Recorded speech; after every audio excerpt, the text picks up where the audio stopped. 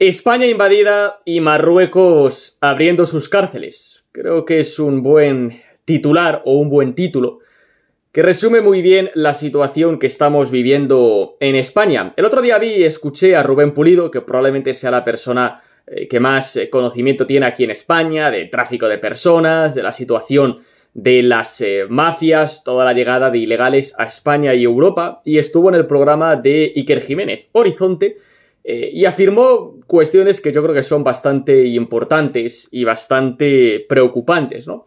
El año pasado, en el año 2023, Marruecos indultó a 6.700 condenados. 6.700 condenados, Mohamed VI los saca de la cárcel de eh, Marruecos, o de diferentes cárceles de Marruecos. En los últimos cinco años, empezando a contar por el año pasado, es decir, desde 2018 a 2023, cinco años, no es casualidad que sean cinco años con Pedro Sánchez de presidente del gobierno, 27.000 indultados por parte de Mohamed VI y Rubén Pulido afirmando, y me lo creo perfectamente, y aquí lo hemos comentado también muchas veces, están vaciando las cárceles y los están metiendo en una patera o en pateras, algo que por cierto también afirmó Jorge Buxade, como muy bien recordaréis, en el último debate electoral de las pasadas elecciones europeas. Por eso la criminalidad se ha reducido en Marruecos un 20%, mientras que en España ha aumentado un 6%. Y es un dato que, por supuesto, hay que tener encima de la mesa. Y es un dato que yo creo que es importante eh, decir todos los días y recordar todos los días, sobre todo cuando leáis noticias, todos los días también, noticias diarias de nuestros eh, jóvenes, varones, chicos, un hombre, vamos, lo de todos los titulares de estos panfletos y estos medios de comunicación que ya también nos enteramos el otro día que PP y PSOE desde el año 2003 pactaron ocultar la nacionalidad de los delincuentes para, como decían, evitar una desafección social o no sé qué tonterías. Vamos a ver, que sois periodistas, que sois medios de comunicación. Vosotros estáis obligados a contar la verdad, a contar la realidad a la ciudadanía. Y por supuesto que cuando tenemos un hecho delictivo, la nacionalidad del delincuente es probablemente el elemento más importante. La nacionalidad y el origen, para saber si ese delincuente es nuestro y por tanto no queda más remedio que nos lo tengamos que comer, porque en toda la sociedad lamentablemente hay eh, delincuencia, haya más o haya menos, aquí influyen muchos factores, a nivel educativo, a nivel social, a nivel económico, pero es importante saber si ese delincuente ha sido importado y por tanto no tenemos ningún tipo de obligación por comérnoslo. Como por cierto, cada vez ocurre más en España, ¿no? Bueno, más cosas de Rubén Pulido el otro día en Horizonte con Iker Jiménez. Desde el pasado mes de marzo, Mohamed VI que no admite expulsiones de sus nacionales desde España, ¿no? Por lo tanto, llegan a España presos marroquíes indultados, delinquen en nuestro país y Marruecos no permite eh, que los podamos enviar de vuelta. Por eso muchas veces cuando leemos y escribimos en mi caso, en la bandera, ya sabéis, lo de los casos aislados, Siempre me hago esa pregunta, ¿no? De por qué no son deportados. Vaya, resulta que Marruecos no lo permite. Y esto también es culpa, por cierto, del gobierno de Pedro Sánchez, por no obligar a Mohamed VI a aceptarlos. Pero claro, entre Pegasus, entre el 11M, no creo que el Partido Socialista, hay muchos más casos, por supuesto, no creo que el PSOE tenga capacidad de obligarle a Marruecos absolutamente nada, ¿no? También leí ayer, eh, creo que fue ayer o hace un par de días, me parece que fue ayer, Leía a un pepero en Twitter, eh, el Diego de Schopenhauer o algo así, que además, por cierto, se descubrió hace ya unos cuantos meses que es asesor del Partido Popular y por tanto el Partido Popular le paga, ¿no? Bueno, decía en plan, no, si lo de devolver a los menas que decís eh, con sus padres está muy bien, pero, pero ¿qué pasa si, si, los menas no nos dicen quiénes son sus padres y demás, ¿no? Eh, con este tipo de mensajes, por supuesto, yo ya veo al Partido Popular que, digamos, está tratando de ir preparando el terreno para cuando acepte el reparto de, menas de Canarias al resto de autonomías, que yo espero que cuando llegue ese momento, por supuesto, Vox rompa con el Partido Popular y desde, desde este canal voy a exigir a Vox romper con el Partido Popular si las autonomías en las cuales cogobernamos con ellos, pues el PP acepta el reparto de menas, la inmigración ilegal, el efecto llamada, es una línea roja, no, rojísima eh, en este caso de cualquier pacto de gobierno eh, por parte de Vox, que además tiene que defender sus principios, tiene que defender su programa, tiene que defender sus políticas y tiene que defender a sus votantes y por lo tanto no puede estar en un gobierno con el Partido Popular si eh, vulnera esa línea roja fundamental en todo pacto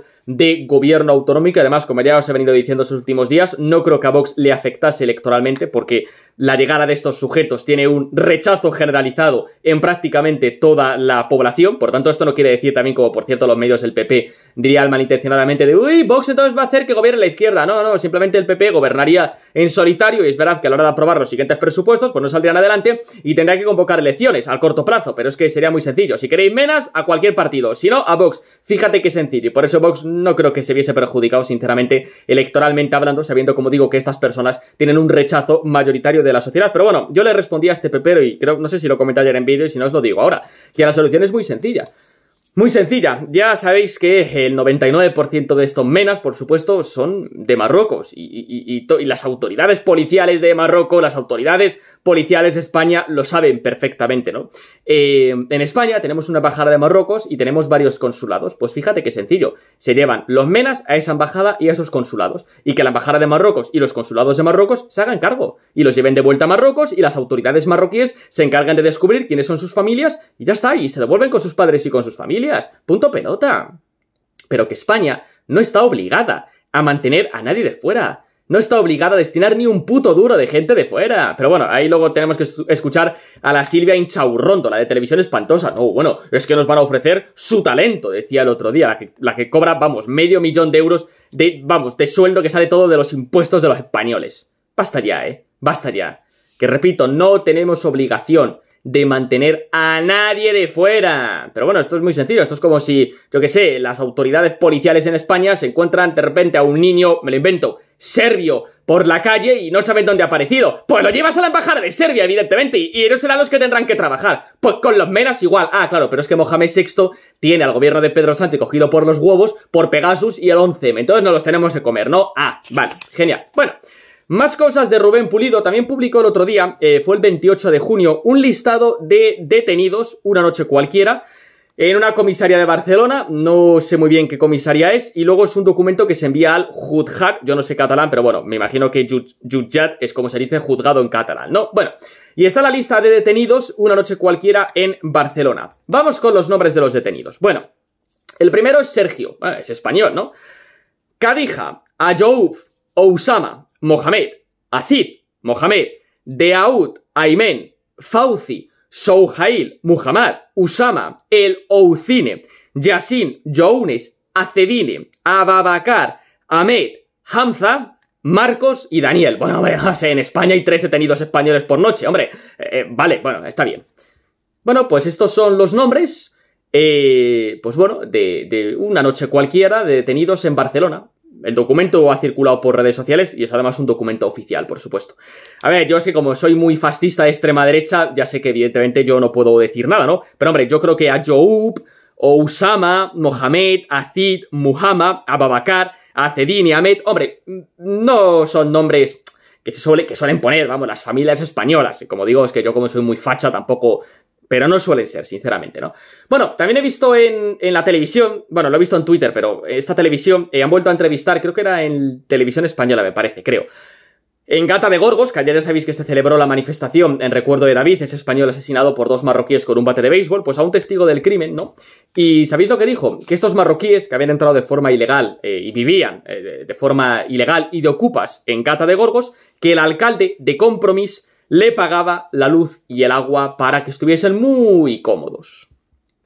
Efecto llamada total y absoluto, con un alcalde pagándole a unos ocupas marroquíes el agua y la luz. Por cierto, un testigo que está amenazado de muerte, lo contó en Horizonte con Iker Jiménez, lo ha vuelto a contar esta mañana en televisión española, y la Guardia Civil no le protege. ¿Sabéis por qué? Porque la Guardia Civil está a proteger a los ocupas del chalet porque solamente ingresó en prisión uno, pero hay otros que siguen por ahí ocupando. Y por cierto, destrozando a los vecinos y la convivencia. claro, imagínate que estás viviendo en un pueblo tranquilamente y en el chalet de al lado eh, te entran cinco marroquíes de ocupas. Hombre, está claro que muy bien no lo vas a pasar, sinceramente. Bueno, pues la Guardia Civil se dedica a proteger a los ocupas, no a este pobre eh, testigo que está amenazado, que está por ahí de hotel en hotel porque le están amenazando de muerte. Y la Guardia Civil dice que no, no, lo siento. Y la Guardia Civil, cuando David el Español fue a decirle estos marroquíes están acosando a menores, la Guardia Civil le dijo no podemos hacer nada. Dos días después le mataron con un bate de béisbol. ¿Y ayer qué? ¿La Guardia Civil qué? Ah, haciendo controles y cacheando a la gente que iba a la manifestación por David en Cata de Gorgos, ¿verdad? Ah, que ayer lo comenté en vídeo también, por cierto. Esa es la Guardia Civil que tenemos, ¿no? Que ya os lo dije ayer. Yo, guardias civiles decentes, a título individual, que además conozco, yo lo respeto muchísimo. A la Guardia Civil como institución no merece ni un respeto, ni uno, de nadie, ni uno. Merecen respeto guardias civiles decentes, sensatos, que sepan lo que hay y que saben que este tipo de actuaciones son una puta vergüenza y que repudian de Marlaska todo el respeto del mundo. Pero la institución como tal, eh, ninguna. Pero no os acuerdas cuando también salía el otro diciendo que iban a monitorizar las redes sociales para controlar las críticas al gobierno en la época del confinamiento. Y esto lo, digo lo mismo con la Policía Nacional. Policías Nacionales a título individual, que además muchos siguen este canal, todo el respeto del mundo para ellos y mi satisfacción por ellos. Policía Nacional como institución, a tomar por culo, pero así de claro. A tomar por culo. Caballero, caballero, ¿dónde tienes el bozal? Multa al canto. Así estamos en España. Así estamos, ¿no? Por cierto, hoy también hemos informado, lo podéis leer en la bandera, ya sabéis, medio de comunicación de Infoblogger, David Santos, un servidor que escribe, además que estoy muy agradecido por la oportunidad que me dieron hace muchos meses. Bueno, pues hoy han detenido a un, bueno, creo que fue ayer, pero lo hemos eh, publicado hoy, a un senegalés, a un senegalés ilegal que está acogido en un hotel de guardamar de Segura, eh, es un pueblo de Alicante, por agredir a la señora de la limpieza. Le han expulsado del hotel, pero no le van a deportar. Bueno, pues nada, España, es que, si es que tampoco hace falta opinar, simplemente con ir dando datos e ir dando noticias, que la gente ya, pues se vaya haciendo una idea de lo que hay. Y luego a algunos les sorprende que por qué, que por qué Marine Le Pen ha ganado en Francia. Bueno, pues porque Francia tiene el triple de homicidios que España, tiene 70 agresiones diarias y Francia es un puto estercolero de ilegales tercermundistas. Pues por eso ha ganado Marine Le Pen, para limpiar Francia, es que no hay otra. Es que los franceses están votando masivamente a Marine Le Pen para que limpie Francia, para que abras la puerta eh, o llegues a Francia en coche, de vacaciones, en avión, entres por el aeropuerto y digas, estoy en un país europeo. Por eso han votado a Le Pen, porque claro que hay que limpiar los países. Sobre todo un país como Francia, evidentemente, pues claro, pues por supuesto que sí. Y como en España no gobierne Vox lo antes posible, para eso sería necesario que los peperos dejasen de votar a esa estafa de mierda y votasen a Vox, pues en 10 años estaremos como Francia. Y luego seguramente a lo mejor llegamos tarde y ya no haya solución. Pero si no, claro que en España también habrá que limpiar España, claro, pues por supuesto. No sé muy bien dónde, dónde está aquí el problema, claro que sí. Y eso es lo que va a tener que hacer la formación de Marine Le Pen, la agrupación nacional, desde que tenga el control de la Asamblea Legislativa a partir del próximo domingo, y si Dios quiere, Le Pen sea, eh, en este caso, presidenta de Francia cuando Macron se vaya a tomar por culo. Es que, es que no, no, queda más remedio. Si Francia quiere seguir siendo europea, claro. Que yo estoy seguro de que ese país quiere seguir siendo europeo, por supuesto. Hasta luego.